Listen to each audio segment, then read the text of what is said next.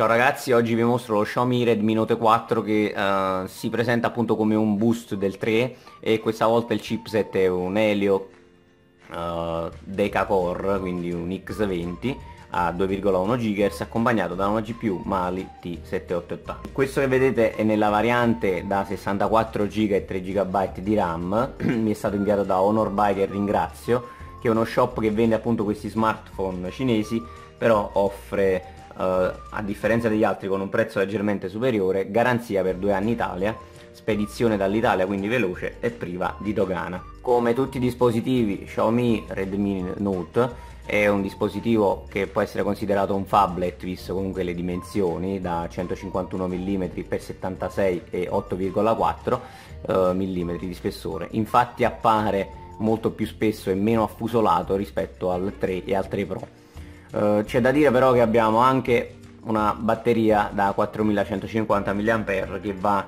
dare un punteggio altissimo a questo dispositivo per quanto riguarda l'autonomia. Infatti comunque il, il dispositivo è abbastanza pesantuccio abbiamo circa 175 grammi e uh, a dirla tutta un po' si sentono. Però in compenso abbiamo un dispositivo con un ampio display molto leggibile e perfetto per i giochi con una definizione full HD e abbiamo comunque una batteria che uh, è veramente infinita con utilizzo blando si riesce ad arrivare a due giorni uh, addirittura io tenendo il GPS attivo tutta la giornata ieri e comunque un utilizzo blando, navigazione, qualche applicazione, qualche gioco sono riuscito ad arrivare dalla mattina fino alla tarda sera con ancora il 20-30% di batteria. Vi ricordo che il dispositivo è un dual SIM che uh, però va a sacrificare la memoria, quindi se volete due SIM dovete sacrificare la, la micro SD eh, ma è anche vero che nella versione appunto da 64 GB non si sente molto l'esigenza appunto di fare questo upgrade tramite scheda. Abbiamo una nano sim e una micro sim nello slot come appunto la maggior parte dei dispositivi con batteria non removibile sulla parte poi laterale abbiamo tassi del volume accensione, abbiamo i tassi a sforamento sulla parte inferiore. Sulla parte poi superiore abbiamo anche una porta a infrarossi per, per utilizzare il nostro dispositivo come telecomando. Uh, il dispositivo offre ancora un'entrata uh, un micro USB normale quindi non Type-C quindi questo potrebbe essere un vantaggio e un, un svantaggio a seconda della, della preferenza dell'utente. La scocca posteriore è completamente in alluminio, ben rifinita e veramente dona un look molto bello a questo dispositivo, comunque uh, costruito molto bene per essere comunque un dispositivo da un prezzo comunque davvero concorrenziale, circa 200 euro ma allo stesso tempo comunque devo dire la verità offre poco grip. Assolutamente serve una cover perché scivola da mano come molti dispositivi con la scocca quindi posteriore metallica e uh, soprattutto molto fragile. Infatti uh, dopo poche ore mi è scivolato da mano con un bel danno evidente che potete notare qui sulla parte posteriore poi abbiamo una fotocamera che scende da 16 a 13 megapixel nel Redmi Note 4 con un'apertura di 2.0 e autofocus abbastanza veloce e una fotocamera dual LED dual tone che uh, offre comunque una buona illuminazione di sera. Uh, poi sulla parte posteriore troviamo anche il sensore di impronta che permette di sbloccare velocemente il dispositivo e uh, oltre a essere appunto molto veloce nel riconoscimento uh, è molto preciso. Non c'è stata nemmeno una volta in cui non sono riuscito a sbloccarlo tramite il sensore di impronte.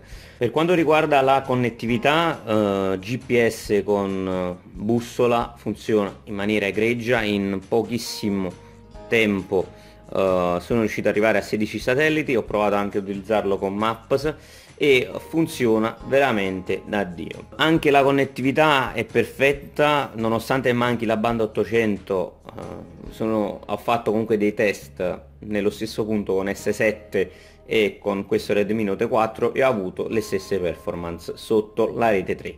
Come vedete un buon risultato.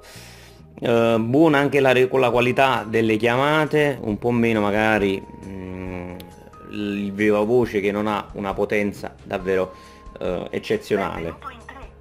Come vedete comunque non è altissimo il volume.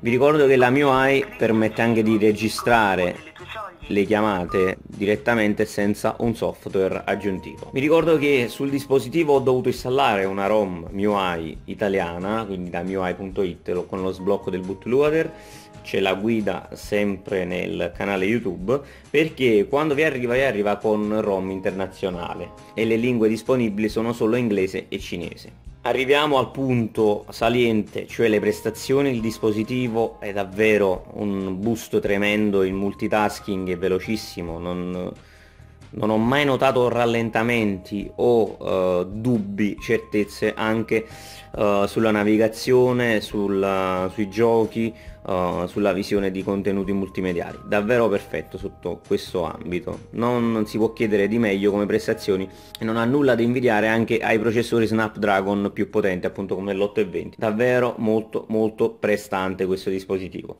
Tant'è che su Antutu ho raggiunto circa 82.000 punti è un punteggio tutto sommato davvero non male.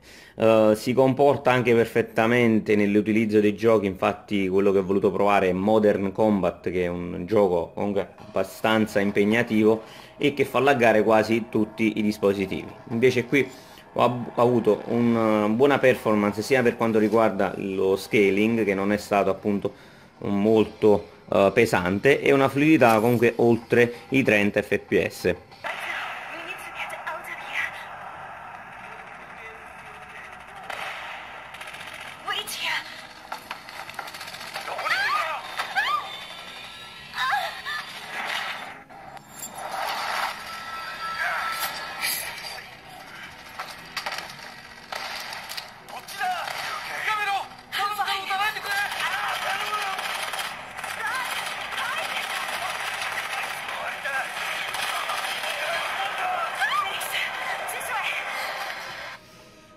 Esperienza di gioco davvero incredibile, quindi per chi ama i giochi è il dispositivo perfetto, moltissima autonomia, schermo grande, ottima uh, qualità e leggibilità al sole. E nonostante comunque abbiamo un decacore, non scalda affatto. Parliamo della fotocamera, a mio parere l'unico punto un po' più dolente di questo telefono che rasenta quasi la perfezione per quello che viene pagato, quindi circa 200 euro. Allora, il dispositivo offre degli scatti comunque abbastanza decenti, eh, in buone condizioni di luminosità, ma tende a Uh, sacrificare la qualità della foto quando c'è troppa luminosità o quando ce n'è troppo poca. Infatti come vedete qui uh, in condizioni di troppa luminosità uh, tende praticamente a bruciare gli oggetti con troppa esposizione Peccato perché comunque la fotocamera offre davvero una buona eh, gamma cromatica e una risoluzione da 13 megapixel che tutto sommato veramente non è male. Comparto quindi fotografico che mh, mm, può andare bene a chi non è diciamo amante della fotografia chi è un po' più pignolo eh, potrebbe comunque eh, detestare appunto questa, questo fatto. Come ho detto però in condizioni di buona luce quindi non troppo luminose e non troppo poco luminose abbiamo degli scatti davvero perfetti e molto molto definiti. Fotocamera interna che offre una buona qualità dell'immagine abbastanza eh, definita e però soffre un po' del controluce, un po' come tutte comunque le, le, camere interne dei dispositivi di fascia media economica. Andiamo a vedere anche la fotocamera, l'applicazione stessa, come ho detto lo scatto è davvero molto veloce e um, si riescono a fare delle buone fotografie. Io comunque sono un po' pignolo perché utilizzo di solito S7 che ha una tecnologia dual pixel e quindi è di molto e di gran lunga superiore a quasi tutti i dispositivi che uh, conosciamo. Veramente non sto scherzando è terribile. Una volta che utilizzate anche la, ma la modalità manuale uh, non vi accontentate più di niente.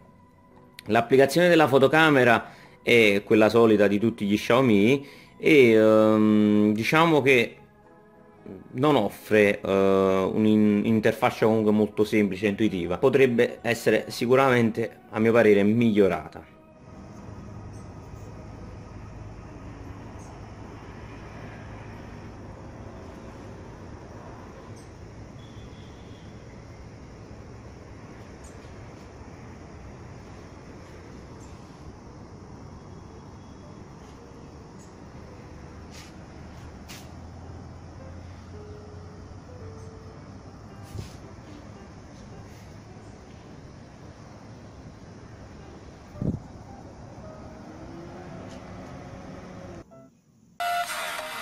vediamo anche la parte audio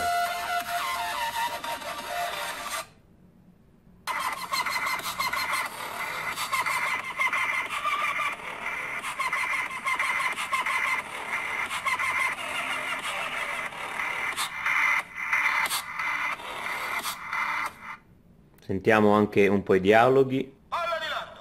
Perché il cassetta è aperto? Signore, non so, signore! Soldato palla di lardo, se c'è una cosa a questo mondo che non riesco a tollerare, è un lucchetto di cassetta aperto! Con questo lo sai, non è vero? Signor, sì, signore! Sono le teste di cazzo come te che al mondo incrementa... Parte audio, diciamo, non delle migliori, non potentissima, però il suono appare sempre chiaro e pulito. In definitiva posso dire che è veramente un ottimo dispositivo da 10 e lode per quanto riguarda il fatto che dual sim, prestazione autonomia e il fatto che comunque per 220 euro o meno abbiamo un dispositivo da 64 GB di memoria interna, davvero ottimo anche per i giochi. Un po' uh, meno contento per la fotocamera che comunque è buona ma non raggiunge alti livelli appunto come i top gamma, peccato.